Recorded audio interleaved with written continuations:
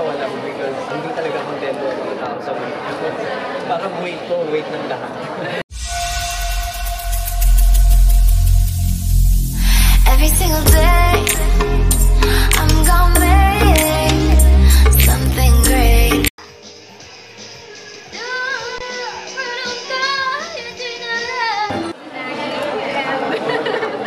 Sermon. So I, I, I feel, I feel much better. I've lost all the weight and everything, it's, it's nakakatawa lang because hindi talaga kontento ang mga tao sa weight ko. Parang weight ko. So, um, I'm healthy and I'm happy. Yun ang pinaka-importante. So, yeah. Right now, I don't, Hindi ka na nag-weight. I don't weigh myself, pero siguro I'm like 160, 160. Kasi si Bailey, hindi siya nag-gym, so hindi siya nag-lift ng So hindi siya nag-gain ng muscle.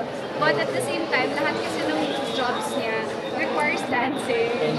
Yeah, so so especially kasi you know, once week lang siya nasa ASAP, pero all the days that he's not on ASAP, you know, he, he books mga shows and, and mga corporate, ano. Tsaka, she so he always, dances pa rin. she always, ano, she, well, she bought me a motorcycle, so yun, nakadagdag ng gym yun.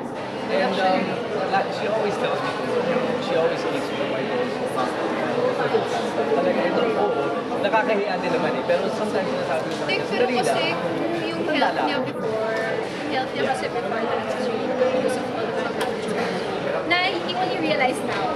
Then, kasi na, na, nararamdaman niya na, ah, ganito pala yung pakiramdam na, ano, after smoke, after quitting smoking for so many years, yung ang luwag na ng, ano, ng pag-breathe niya and everything. So, Pink ang lips mo.